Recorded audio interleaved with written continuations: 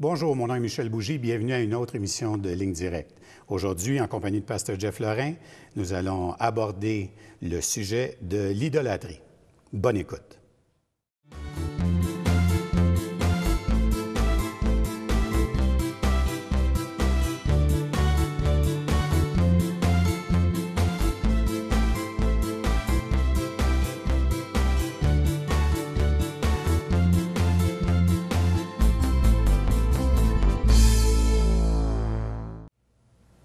Alors, euh, bonjour, Pasteur Jeff. Bonjour, Michel.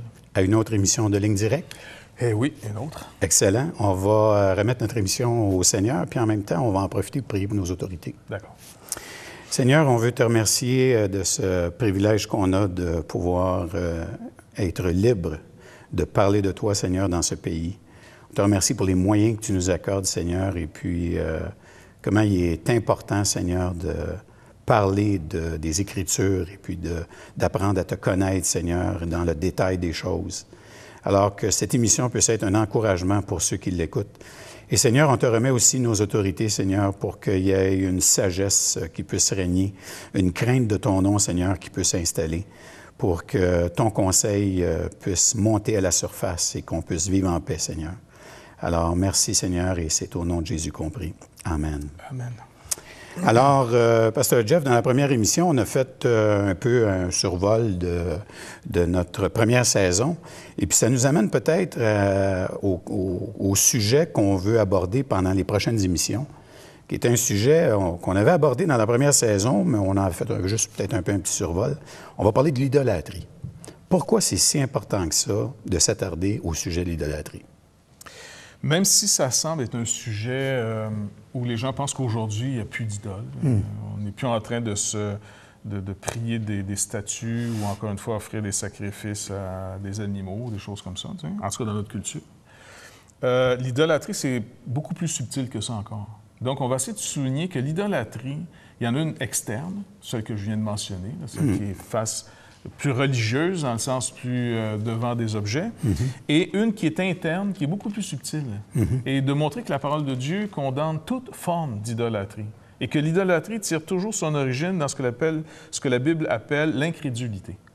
Donc, on a toujours le choix de se prendre le chemin de l'idolâtrie ou de la foi véritable. Et je dirais que même un athée est idolâtre, car le chemin qu'il prend, son espérance est bâtie sur des choses qui peuvent être au point d'état légitimes, mhm. mais euh, qui euh, qu'on place souvent sur un piédestal ou d'une manière ultime. Hmm. Un verset pour euh, montrer ici le thème finalement, c'est dans Éphésiens chapitre 5, 5. Mhm. Il dit Sachez, sachez-le bien, car sachez-le bien, aucun impudique ou impur ou cupide, c'est-à-dire idolâtre, n'a d'héritage dans le royaume de Christ et de Dieu. Hmm. Donc, quand on prend juste ces qualificatifs ici, impudique, impur ou cupide, on a finalement dans le comportement, dans la mentalité et aussi dans l'ambition des hmm. choses. La cupidité, entre autres, c'est d'aimer hmm. l'argent et la richesse au détriment des gens. Donc, ces trois choses, Paul résume en disant ça, en passant, c'est de l'idolâtrie. Donc, on voit ici qu'il n'y a aucune statue là-dedans encore, il n'y a aucun sacrifice euh, religieux offert à qui que ce soit ou à quoi que ce soit. Et Paul dit néanmoins, c'est de l'idolâtrie. Hmm. Et la conversion du croyant, donc quand on vient à Dieu, à Jésus-Christ, Paul va aussi écrire donc dans 1 Thessaloniciens au chapitre 1, verset 9, et ça va être, comme je dis, le thème qui va nous diriger. Il dit, car on raconte à notre sujet quel accès nous avons eu auprès de vous et comment vous vous êtes convertis à Dieu en abandonnant les idoles pour servir le Dieu vivant et vrai. Donc on voit ici que à partir du moment qu'on se tourne vers Dieu, et Jésus-Christ qui nous a été hmm. donné comme le seul intermédiaire entre Dieu et les hommes, se tourner vers Dieu implique inévitablement un abandon d'une ancienne manière de faire. Hmm. Donc, c'est ce qu'on appelle repentance et foi. La repentance, c'est pas toujours du regret puis de la, hmm. mortification terrible. Non, non. C'est d'abandonner une source d'espoir, une source qui était mon espérance, à une nouvelle source. Donc, une source que Dieu dit, non, non, elle va te mener à la mort, ça mène à rien, à Dieu qui est vivant et vrai. Et donc, c'est dans ce sens-là qu'on va essayer de mettre au moins euh, le plus en possible nos types d'idoles que nous mhm. avons aujourd'hui. C'est facile de condamner l'idolâtrie des gens du passé mhm. parce qu'on a comme un recul, on les a abandonnés, on a vu qu'ils n'ont pas fait leur effet. Mais on est peut-être dans une nouvelle forme d'idolâtrie et qui, dans 100 ans d'ici, va peut-être être, être vue comme totalement ridicule, mais aujourd'hui, elle est valorisée au point qu'elle prend la place de Dieu. Mais on n'a pas tant que ça d'idolâtrie. Ah, ah, ah, c'est ce que nous allons voir. c'est intéressant aussi que quand on abandonne les idoles, inévitablement, on se met à servir le Dieu vivant. Oui, et parce qu'on ne se rend peut-être pas compte, mais une idolâtrie, on la sert aussi. Mm-hmm. Les gens servent quelqu'un ou quelque chose qui va soit donner le résultat ou non. Mm. Maintenant, si c'est un idole, la Bible nous a toujours dit, dit que toute forme d'idolâtrie va toujours être une déception totale pour les gens. Ça, va être, ça mène à rien. C'est du néant. Euh, on va voir finalement que, je ne sais pas, on va servir, c'est peut-être la plus facile celle-là à dénoncer, servir par exemple l'argent. C'est incroyable les gens ce qu'ils font pour euh, sacrifier au, nom de l'argent, tu sais, la profession. Euh, une autre forme d'idolâtrie, puis oublie pas, c'est est-ce que l'argent est mal? Pas du tout. Je dis, si tu pas d'argent, tu peux rien faire. Hmm. Donc, l'argent en soi n'est pas mal. C'est pas l'argent qui doit être condamné. C'est mon rapport que j'ai avec l'argent. Hmm. Et où la limite à ce que j'ai mis à l'argent pour prendre contrôle de ma vie? C'est où, que je dis, par exemple, non, à ce niveau-là, mon travail ne peut pas avoir finalement Hmm. euh, autorité sur ce que je fais. OK? Donc, ça, c'est. Euh, D'autres domaines qui sont encore plus légitimes, plus sympathiques aujourd'hui. Moi, je pense que, par exemple, euh, peut-être pour beaucoup de gens, le sport peut être une idolâtrie. Je ne parle pas ici d'aller à un restaurant où est-ce qu'on regarde le hockey le soir puis on prend de la bière. Pas du tout. C'est très sympathique, ça. Mais quand je regarde le, le type de motivation, de discipline que certains mettent pour des couronnes, tu sais, comme les Olympiques ou encore une fois pour réussir, ou hockey ou natation, et qui en soi ne sont pas mauvaises. c'est vraiment là qu'on va jouer sur la subtilité. C'est jamais la chose elle-même qu'on fait qui est condamnée. C'est le poids qu'on lui donne. Penser un certain prix pour acheter une chose, ça va devenir ce qu'on appelle l'idolâtrie. Ça va être intéressant de le voir, ça. Puis aussi le fait que, euh, en quelque part, souvent, il y a certains mots qu'on prononce, puis euh, comme par exemple, on va dire que le Seigneur est roi des rois et qu'il a la primauté. Ça, c'est un concept qu'on comprend. Est-ce que l'idolâtrie, c'est pas justement un concept qui place Dieu à une autre position? Oui, la politique peut aussi devenir pour beaucoup de gens une idolâtrie. En soi, il nous faut de la politique. En soi, il nous faut de l'argent. En soi, il nous faut finalement du divertissement comme le sport. Il n'y a pas de problème. Mais la politique, quand on déclare, par exemple, un croyant qui est saisi par Dieu et que Jésus-Christ lui est révélé, il devient un croyant, il devient un chrétien. Les chrétiens du premier siècle saisissaient très bien l'Évangile parce que la persécution qu'on leur faisait, que l'Empire faisait contre les chrétiens, ce n'était pas une question religieuse qu'ils attaquaient. C'est parce que dans leur conception du salut, leur compréhension de Jésus-Christ, c'était ce que tu venais de dire, Jésus-Christ est Seigneur. Paul dit, personne ne peut dire, sinon par l'Esprit, par l'Esprit de Dieu, que Jésus-Christ est Seigneur. Jean reprend la même chose aussi. Donc, d'être saisi par le salut de Dieu, c'est d'être saisi que dorénavant, le législateur à- auquel que je fléchis le genou et que sa loi est incontestable, c'est Jésus-Christ, le Fils de Dieu.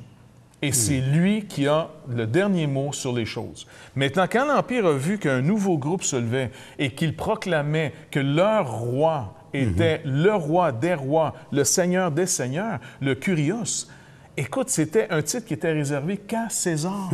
César était l'empereur, le roi des rois qui avait conquis. Il était le Seigneur des Seigneurs. Il se faisait même appeler le Seigneur. Il se faisait appeler euh, le Sauveur, le Soter, le Sauveur. Donc, euh, les chrétiens disent, écoutez, euh, il y a juste, on va faire une petite correction ici, vous allez avoir les meilleurs citoyens dans l'Empire, car nous, on vole pas, on ment pas, on, on met tout en commun, sauf nos femmes. On prie pour les autorités. On prie pour les autorités et on n'est pas un peuple violent. On n'est pas des gens violents et on n'est pas un peuple national. On est un peuple qui a sa souveraineté dans les cieux et non sur la terre, car on est de toute nation, de toute tribu, de toute langue. Donc, en soi, ce n'est pas une menace pour l'Empire si l'Empire est prêt à remettre son autorité à Jésus-Christ. Mais si l'Empire ne veut pas remettre son autorité à Jésus-Christ, alors là, elle persécute ces gens qui, à tout moment, vont avoir d'abord une allégeance à Jésus-Christ plutôt qu'à César. Et c'est ce que nos gouvernements peut-être aussi aujourd'hui, on ne se rend peut-être pas compte, mais tranquillement, en enlevant la religion des écoles, et Pasteur Réal a fait vraiment une série qu'on peut trouver sur Internet, plein de capsules montrant comment le gouvernement du Québec, commençant par le Parti québécois et appuyé et soutenu par le Parti libéral, ont vraiment enlevé le droit aux parents que par leurs taxes, les écoles qui sont payées par leurs taxes, c'est pas l'État qui paye l'école, c'est nos taxes que l'État prend pour faire des écoles, et que là, les parents, en plus de payer, ils n'ont plus le droit sur les croyances. Parce que la croyance, c'est la motivation de ma vie, c'est ce qui détermine mon éthique de vie. Et là, on a décidé d'avoir un nouveau citoyen, et ce nouveau citoyen, on veut que la religion soit juste comme euh, une expression artistique. Presque. Culturelle. Culturelle, tu sais. Euh, mais elle n'a pas de place sur la place publique. C'est complètement un non-sens, en d'autres mots. L'athée a le droit d'être athée partout, mais le croyant n'a pas le droit d'être croyant partout. Hmm. Quelque chose qui ne va pas, là, tu sais. Donc, euh, euh, on s'est fait avoir là-dessus, on s'est fait enlever des droits, et inévitablement, c'est pas, c'est un problème. Mais mon problème, il est, plus au niveau de voir ce que l'État a repris son droit sur Dieu. Alors, inévitablement, les gens qui ne jurent que par la politique sont tombés, comme pour le reste, comme pour l'argent, comme pour le sport, comme pour n'importe quoi. Euh, ils sont tombés dans une idolâtrie. Si Dieu est plus à sa place et que j'ai mis autre chose à sa place, c'est une idolâtrie. C'est tout simple que ça. Donc, vous allez voir, ça va être une série un petit peu bouleversante, hmm. mais qui va fortifier la foi de ceux qui ont commencé à comprendre que mon espérance doit utiliser, par exemple, tout ce que Dieu a mis au point, dans le hmm. sens, tout ce que ce monde possède, Dieu nous dit, utilisez-les, usez des choses de ce monde, il n'y a pas de problème. Le manger, le boire, euh, la politique, l'argent, le sport, le divertissement, toutes ces choses en soi sont pas mal. Maintenant, faites attention parce qu'il va y avoir une échelle de valeur à respecter. Hmm. Tu aimeras le Seigneur ton Dieu de tout ton cœur, de toute ton âme, de toute ta capacité, et lui seul tu serviras. Et tu aimeras ton prochain comme toi-même. Ça résume hmm. toute la loi. Hmm. Puis je pense aussi que ça va être, euh, ça va vraiment être un encouragement de se rendre compte qu'il y a peut-être des endroits dans nos vies qui sont présentement paralysés en tant que croyants. Et puis la réalisation qu'on va faire, c'est que dans cet endroit-là, il y avait peut-être un idole. Fait qu'on va poursuivre avec ça tout de suite après la pause.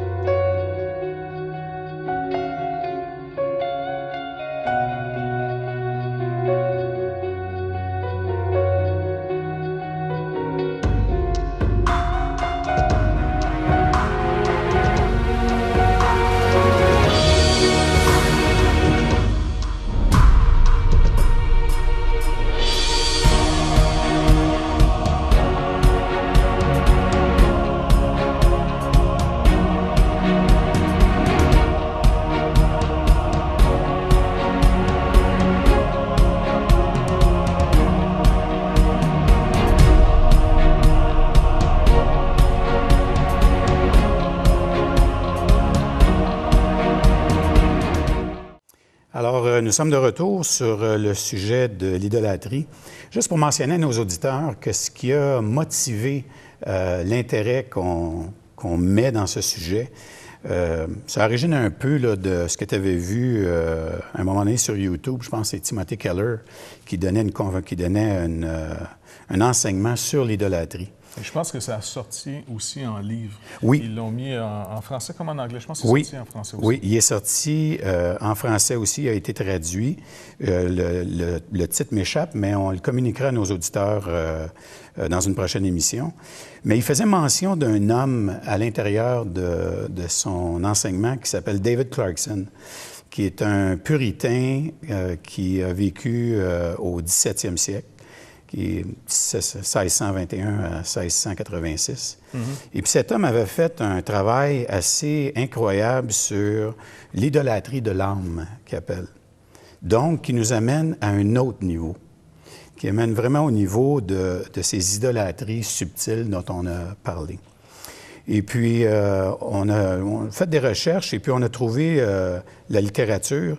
Et puis, on s'est mis à traduire. Et dans le moment, il y a un travail qui se fait de traduction pour justement permettre à nos auditeurs d'avoir accès à, à cette documentation. On va en faire un livre qui va être disponible sur le site web de La Bible parle. On vous rappelle que c'est le www.labibleparle.com. Et puis, euh, vous pourrez euh, télécharger ce livre dans lequel vous allez avoir euh, une description complète de ce qu'on utilise pour entretenir cette discussion-là sur l'idolâtrie. Alors, Peut-être que ce qu'on pourrait euh, aborder dans cette partie, c'est justement vraiment revenir sur le thème du fait que euh, on a parlé qu'il y avait deux sortes euh, d'idolâtrie. On avait parlé qu'il y avait une idolâtrie externe, qui est celle qu'on connaît, qui nous vient à l'esprit quand on parle des statues, bon, etc., des gestes qu'on pose, quand on pense à certaines sociétés à travers le monde qui sont des animistes, par exemple, qui font des gestes envers des, des idoles, bon, dans le fond. Et puis, il y en a d'autres, une autre catégorie qui, elle, est interne. Donc, c'est celle que, euh, qui fait qu'on accorde de l'importance à des choses qui, normalement, sont bonnes, hein, comme Timothée Keller le mentionne, et on en fait une chose ultime ou une chose qui enlève la place qui revient à Dieu. Soit qu'on met notre foi dans ces choses, et puis en faisant ça, ben, toute notre sécurité en dépend, et on, on oublie, on devient aveugle à la position, par exemple, de Jésus-Christ dans notre vie comme étant notre Seigneur. Et c'est peut-être la forme d'idolâtrie la plus subtile, celle qui est interne, parce que euh, la plupart d'entre nous, on a une très bonne opinion de nous-mêmes et on justifie beaucoup ce qu'on fait. Parce qu'une personne ne fera pas quelque chose sans avoir des raisons. Hmm. Si la parole de Dieu n'arrive pas à mettre en lumière ces raisonnements, les tours de raisonnement qui s'élèvent contre la connaissance hmm. de Christ, la personne demeure prisonnière de ces tours de raisonnement qui mettent une valeur suprême à une chose. Hmm au-delà de Dieu. Et ça peut être dans toutes sortes de domaines. je vais justement prendre euh, un, peu le résumé qu'on a ici. Commençant sur ce que c'est l'idolâtrie d'après Paul, donc d'après la parole de Dieu, il nous dit encore une fois, car sachez-le bien, aucun impudique ou impur ou cupide, c'est-à-dire aucun idolâtre, n'a d'héritage dans le royaume de Christ et de Dieu. Éphésiens 5, 5. Hmm. Et Clarkson commence en disant, un homme cupide est idolâtre. Non seulement les cupides, donc, encore une fois, ça s'appelle la cupidité. Mhm. C'est un terme qui n'est pas populaire, mais cupidité, c'est les gens qui aiment la richesse au détriment des autres, au détriment des gens. Est-ce qu'on pourrait dire que dans notre monde moderne, c'est quand 90% euh, de ta pensée, de tes occupations, c'est de s'assurer que tu as toujours l'argent pour maintenir ton lifestyle? Oui, oui, on pourrait dire ça, oui. C'est ta préoccupation. Au point que ça te motive à être euh, menteur, ça va être à l'origine d'avoir triché tes impôts. C'est à l'origine de vraiment de, détruire la réputation de quelqu'un d'autre pour avoir le contrat. Euh, c'est tout ce qui fait que là, tu as passé une ligne. Entre être motivé pour mettre ta famille ou ta vie en sécurité, il n'y a rien de mal hmm. à avoir les, richesses de ce monde pour hmm. assurer ta vie. Hmm. Il n'y a, pas de problème à ça. L'argent, c'est une bonne chose. On fait plein de bonnes choses avec l'argent. Si on n'avait pas d'argent, on ne pourrait pas faire l'émission en ce moment, par exemple. Exactement. Si on n'avait pas d'argent, on ne pourrait pas aider, par exemple, comme on fait en Haïti depuis des années. Si on n'avait pas d'argent, on ne pourrait même pas avoir le bâtiment, on ne le chaufferait pas. Bref, hmm. on n'est pas en train de dire il faut devenir un peu comme la mentalité du vœu de pauvreté, hmm. Tu sais, de faire la guerre aux richesses. Pas du tout. C'est à l'amour de l'argent qu'il faut faire la guerre. Parce que si on aime l'argent, c'est au détriment de quelqu'un d'autre. Donc, souvent, ça peut être de nos familles. Combien de, gens qui, au nom de la carrière, qui est une forme d'idolâtrie, si on mm. la met au détriment de nos enfants, mm-hmm. on la met au détriment de notre femme, de notre mari, on la met au détriment de notre marche avec Dieu, alors ça devient un ultime. Une bonne chose devient ultime, et quand mm. c'est ultime, c'est qu'on tasse Dieu, on le met à un second rang, ou même pire, plus subtilement encore, on le rend assistant à notre succès de carrière. Ah oui, ça c'est. Et c'est comme ça qu'on déforme ben l'Évangile pour en faire ce qu'on ben appelle l'Évangile de la prospérité, qui est très, très populaire. Donc, euh, Clarkson, encore du 17e, fait qu'on voit que les choses ne changent pas tellement, il nous rappelle ici, il dit, il dit, c'est pas simplement les cupides qui sont idolâtres, mais les impudiques et les immoraux le sont aussi.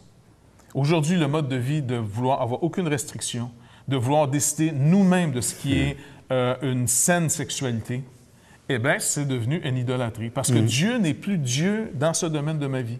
C'est plus lui qui fixe les lignes, les limites, les normes. Je, Donc, je décide. je décide. Alors, c'est devenu une forme euh, d'idolâtrie. Pour l'apôtre Paul, l'avidité est une idolâtrie, les impurs sont des idolâtres, au même titre que les cupides. Et dans sa lettre aux Philippiens, il mentionne également que ceux qui font de leur ventre un Dieu, leur fin sera la perdition, et parce qu'ils ont pour Dieu leur ventre. Le ventre ici, dans la culture, c'était mes intérêts personnels. Tiens, C'est sûr que c'est représenté par quelqu'un qui mange puis qui, au détriment des autres, surtout dans les sociétés où est-ce qu'il y a une pauvreté, euh, c'était précaire pas mal de temps. là. Euh, comme quand on va dans d'autres pays, on réalise que, tu sais, on est, nous, on réalise pas à quel point on vit dans une bulle. Le reste de la planète là, cherche son nourriture régulièrement et son eau. euh, C'est à tous les jours. tous les jours. Donc, c'est une belle image pour représenter, même ici dans notre culture, des gens qui vivent dans l'obsession de leur intérêt personnel au détriment des autres. Paul le rappelle en disant, votre fin va être la perdition parce que votre Dieu, ce qui vous donne de l'espoir, c'est de vivre en fonction de vos intérêts personnels. Vous montrez par là que vous n'avez aucune foi en Dieu et vous êtes donc déperdu. C'est pas que c'est pas que vous êtes trop méchant, vous allez être perdu. C'est que vous montrez que vous n'avez aucune foi en ce que Dieu a fait pour vous. La preuve, vous êtes en train de mettre ailleurs cette foi, cette confiance. C'est- ce qui est vraiment euh, particulier, c'est quand on parle d'intérêt personnel, les intérêts personnels, comme on le dit, ne sont pas toujours négatifs. Non, hein? non, non. Bon. encore une fois, c'est, il faut qu'il y en ait. il faut qu'il y en ait, des- on en a des intérêts personnels. Mais c'est qu'à un moment donné, on ne se rend pas compte de l'importance du nous dans cette équation-là. Euh, si on regarde euh, l'ensemble des activités qu'on peut faire euh, d'un point de vue humain, nos intérêts, on part toujours du principe qu'on on a un bon sens qui détermine quels devraient être nos intérêts. Et encore là, on fait de notre bon sens, de notre intelligence, notre vue sur les choses, une idolâtrie. C'est pas le conseil de Dieu sur la chose qui illumine la chose, mais c'est plutôt notre intelligence qui illumine l'intérêt personnel. Exactement. C'est pour ça qu'on doit se discipliner à retourner régulièrement aux Écritures. On suggère aux gens, c'est sûr, euh, comme la lecture régulière des Écritures, parce que retournant au texte biblique, je réalise que quiconque déclare être chrétien vit une autre sorte, une autre sorte de vie qu'une personne qui déclare ne pas être chrétienne. OK? Par exemple, ici, Paul dit aux Thessaloniciens, il avait amené l'Évangile dans cette ville, il y a des gens qui ont répondu à l'Évangile, se sont regroupés ensemble, commencé à obéir au Seigneur. Et il dit, Paul, il dit, Euh, car on raconte à notre sujet, ici le sujet des apôtres qui avaient été annoncé l'Évangile, quel accès nous avons eu auprès de vous et comment vous vous êtes convertis à Dieu en abandonnant les idoles pour servir le Dieu vivant et vrai. Vous- il y a- je ne sais pas si tu te rappelles, il y a quelques années, Bob Dylan a fait une expérience euh, religieuse. Ouais. Et puis je pense qu'il est euh, avec Bono, le chanteur de YouTube. Ouais. Ils sont restés ensemble puis ils s'édifient régulièrement Ouais. dans leur foi. Ils vont pas dans les églises peut-être parce qu'ils seraient trop fatigués, je sais pas trop. Bref, c'est une autre histoire. Mais je me rappelle que quand il était, euh, il avait osé prendre position pour Christ à l'époque, euh, pensant peut-être que sa gloire sa, sa notoriété aurait été suffisante parce qu'il l'avait fait au nom de la dope, il l'avait fait au nom de Ouais, quelque chose. ouais, Ça a été le gourou, un maître à penser, même pour les Beatles ou d'autres. Absolument. Donc, ce Bob Dylan, quand il a vraiment fait cette rencontre euh, avec Jésus-Christ, à quel niveau, c'est pas à moi de juger, mais bref, il y en a fait une, il a écrit euh, un, des, des CD, euh, des- pas- des CD à l'époque, c'était des, des vinyles, c'était euh, Slow Trains Coming, quelque chose genre. OK. Et puis là-dedans, il y avait un- vraiment un morceau très intéressant. C'était Tu dois servir quelqu'un. Que ce soit le diable ou Dieu, tu vas servir quelqu'un. Notre vie, elle sert quelqu'un. Et puis, vraiment, je, je vais essayer de le retrouver. Ça doit sûrement se retrouver sur Internet. Là. Euh, Mais ça, c'est vraiment intéressant parce que euh, plus tu rentres dans les Écritures, plus l'Écriture te le révèle, cette affaire-là. Ouais. Hein, une des, sert, euh, une des premières évidences, là, c'est que tu, tu, tu sers quelqu'un. Mm. Et puis pourtant, c'est quand on vit dans un monde où il y a tout un, un- un groupe majoritaire de gens qui ne vivent pas selon ça et qui, eux, pensent qu'ils sont libres. Parce que quand on rencontre des gens qui ne sont pas croyants, bon, on fait de l'évangélisation, mettons, puis qu'on leur dit, non, non, tu sers quelqu'un. Non, moi, je ne sers pas personne, je suis autonome. Je suis indépendant, moi. Tu sais, les athées vont dire non, non, moi, Je suis un un libre penseur. Ah, ça, c'est une phrase que j'aime beaucoup. Puis, ils ne se rendent pas compte du tout de l'effet, par exemple, de la propagande qui règne autour, là, la propagande du moment, tu sais. Ouais. Fait que c'est vraiment... euh, C'est pour ça qu'on on encourage les gens qui se déclarent chrétiens. Ce n'est pas à nous de juger leur foi en ce moment, ce n'est pas, pas le but. C'est de dire, si vous êtes croyant, si vous êtes un chrétien, et peu importe la dénomination dans laquelle vous êtes, votre autorité première, c'est Jésus-Christ. Et votre source d'information, c'est la parole de Dieu, la Bible, Ancien et Nouveau Testament, dans la mesure de la compréhension de l'un amène l'autre. Et c'est pour ça que Carson- euh, Clarkson continue en disant ici, en effet, toute convoitise qui règne sur notre vie est une idolâtrie. Et toute personne qui est sous l'empire d'une convoitise est idolâtre. Car tout ce qui est dans le monde, la convoitise de la chair, la convoitise des yeux, l'orgueil de la vie, ne vient point du Père, mais vient du monde. Donc, on voit ici, c'est dans 1 Jean 2,16. Donc, si je regarde ma vie, tout ce que je désire ardemment, tout ce que je désire passer une limite saine, il faut que j'arrête de mentir contre la vérité et je me retrouve à dire, je suis dans une idolâtrie. Mais je pense aussi qu'il faut quand même, euh, parce que là, je me mets à la place de, de nos auditeurs, euh, ils doivent en avoir qui sont complètement découragés. hein, parce que quand tu regardes la vie, convoiter quelque chose, c'est comme respirer. Oui. Hein, ça vient assez facilement. hein. Euh, Il y a toujours fait dans ce le gadget, puis bon, tu sais, il y a toujours quelque chose. Oui, oui. Fait que donc, l'auditeur qui écoute ça peut être découragé en écoutant ça. Sauf que la lumière que lui a, s'il se nourrit d'une autre lumière sur la chose, est-ce que c'est pas là qu'est notre espérance? Oui, exactement. Donc, de ne pas se sentir nécessairement vivre dans le, le sentiment de la culpabilité. Mais si je- si j'ai un malaise maintenant par rapport à ce que je viens d'entendre, on, se- on se tourne vers le Seigneur Jésus-Christ et on lui soumet le cas. Seigneur, je me remets devant toi. Est-ce que ça prend ta place? Est-ce que je suis capable d'entendre de toi un non sur mon projet? Alors viens à mon secours. Et le Seigneur, qu'est-ce qu'il nous dit? Il nous pardonne. Quand il met un péché en lumière, c'est pas pour nous accuser, c'est pour nous pardonner. Si on le confesse, si on le reconnaît comme lui, comme étant quelque chose qui est en train de nous faire du tort. Il nous, il nous pardonne, il nous purifie et il nous restaure une communion qui va nous montrer un plus grand trésor. Comme il est dit ici, abandonnant les idoles pour servir le Dieu vivant et vrai. Donc, inévitablement, c'est pour me faire abandonner un idole mort et faux. Exactement. Donc, il faut voir la richesse et non pas la négation. Excellent. Écoute, on vient juste de commencer à gratter le sujet. Ouais. Fait que je pense que ça mérite encore au moins une autre émission. Une coupe encore. En une coupe encore. Excellent. Alors, on vous remercie d'avoir été avec nous pour euh, cette émission de Ligne Directe. On vous rappelle que vous pouvez euh, euh, consulter les ressources euh, en allant au www.labibleparle.com. On vous remercie d'avoir été avec nous. À la semaine prochaine.